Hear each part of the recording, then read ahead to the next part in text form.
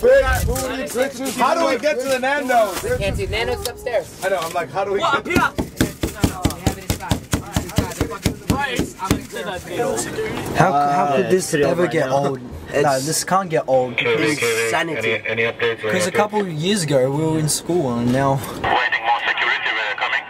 And now we have freaking out. people went outside our tour bus. Let's be tour honest. Bus. At school in the library, fucking, we weren't even. We didn't even release videos, and girls were just all over us, always screaming. So even the many- teachers So many like wanted our boy dicks. bands and shit, and they chose us. Yeah, I know. They chose us. There's so many. Wait, but you're not A a fucking boy band, and they still chose us. Need to rehearse that more. Yeah.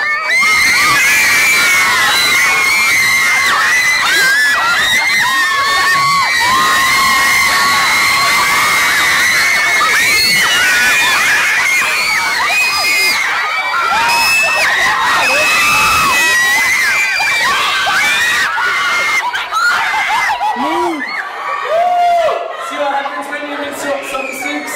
You get a crowd waiting outside your bus.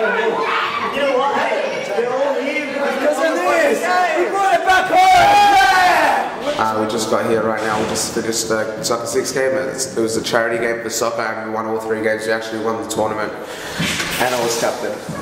So this is already fucking says liar. I was the captain. You can look at all the photos if you want, and we did win. We uh, got to the venue here in, at Belfast, and the local security for the venue was not alerted that we were coming in the back door, which is very odd. So the boys rolled up, and there's me and Nitish being security guards, and that's not our job, and I'm not big enough to be a security guard. little venue mishap that they just weren't ready for us, you know? We had security here and they just didn't come to the back, so.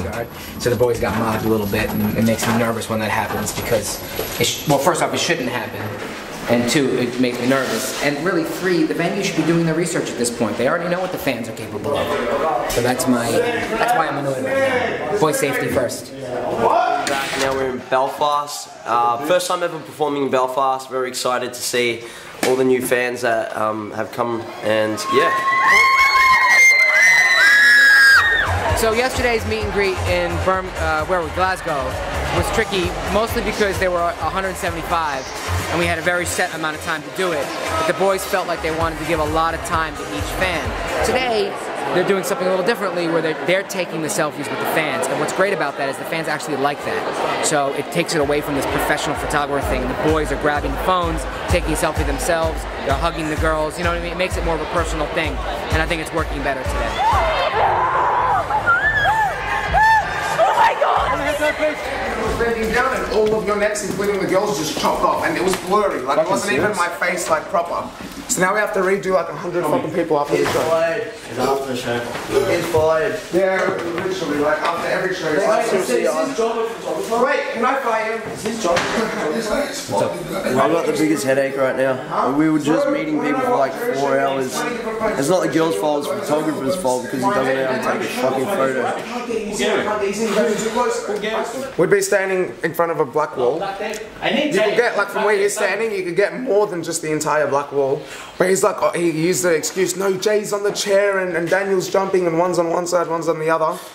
But you look at the photo, it's it's my my head and then all the rest of the boys' necks chopped off. Like it's not even, he didn't even get a quarter of like the background. Fair enough if this happened once, but it's been happening three out of three days. Yeah, and then We've fans get upset thinking that we want to rush them. When really we've done everyone like three or four times and he just cut off everyone's We've neck. had two hours sleep. We've been in three different countries in two days. Four cities, two planes the same day. Three countries in one day. Ireland, Scotland, and England. Yeah, and four cities. Four cities, two planes the same day. 45 million miles around the world. All around the wor- uh, world, people want to be loved. Um, I was warming up for soccer six, and I went to kick the ball, and might have kicked the ground. Something. I don't know. That was before we actually even started. Yeah, please. Oh my god, you fucking freak! What are you doing? Oh my god. Don't I trust him. I'm gonna, I need some sleep. I just pray for one fucking smooth meet and greet. Okay, you take a look and uh, it's okay. If it's not that the lighting's bad, it's. What was that? What was the shit excuse last? Oh, there's no security. Oh! So by by the time we finish this tour, hopefully we have one smooth meet and greet that will make the whole tour. Yeah, how someone can be like that dumb, or just not know how to get someone in the picture. How just how about just look at the quality of what you're doing Especially before when you you're fucking move it along? No, especially when you're getting paid to do it. Yeah, it's upsetting. Upsetting. But everyone's cool. I, major damage control. Photographer, you're fired! I really hope we don't turn into assholes by the end of this tour. Looks like tired, tiredness and exhaustion is getting the best of us. Good night.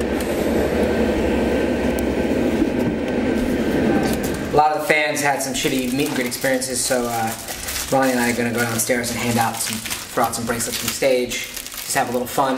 It's a small token, doesn't really make up for it, but uh, it's the best we can do under the circumstances. and I think people will like it.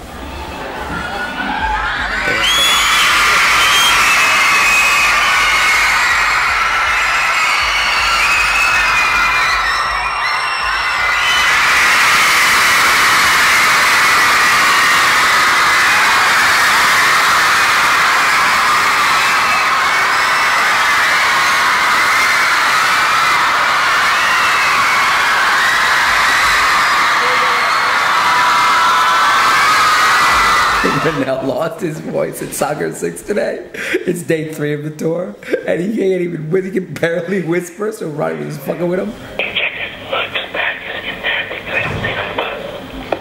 Okay, check it now. Tell him to talk dirty to you. Right, right now. Can you talk dirty to me? Talk dirty to me.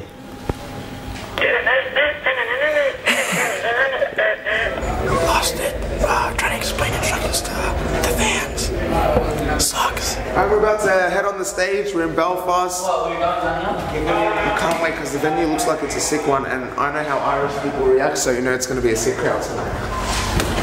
We're going to be like literally chanting soccer chants. It's going to be crazy. It's going to be like a completely different atmosphere to the rest of the tour. Nothing's like Ireland ever.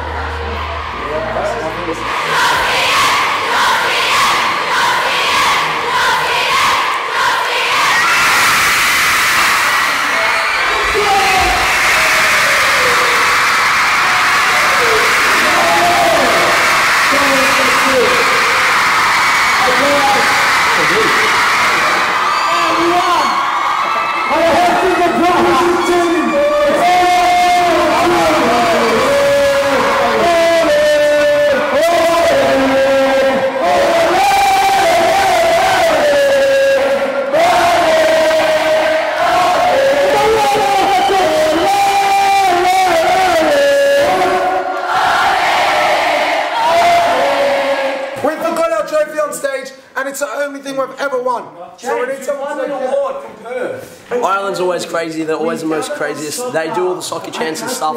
Before we got off the stage, we were doing "Let's Go Fucking Mental." I saw girls riding in the in the crowd. It's just great energy the whole By night. the way, take Awesome. it. Um, that's what she said. Yeah. We go take, take, take, take, take, take, take it up. The girls start putting the tops up now. Yeah. That's always a good thing, right? No, it was honestly it was a good show. Belfast. I told you before we went on. When it comes to Ireland, it's completely different. It- the atmosphere is different. It's not even like a show. It's, it's as if you're like you're playing soccer or something. Like it's crazy. It's a bagpipe. It's a bagpipe and it's a kilt. That's that's all it is. It's a bagpipe and it's a kilt. And the kilt from alcohol, the beer. Yeah, it's because like everyone in Ireland, everyone's like drunk. They drink their heads off. Yeah. And we're allowed to say that because we're part Yeah. Yeah, we're Irish as well. We have some Irish in us, and that's why we get extra fucking mental.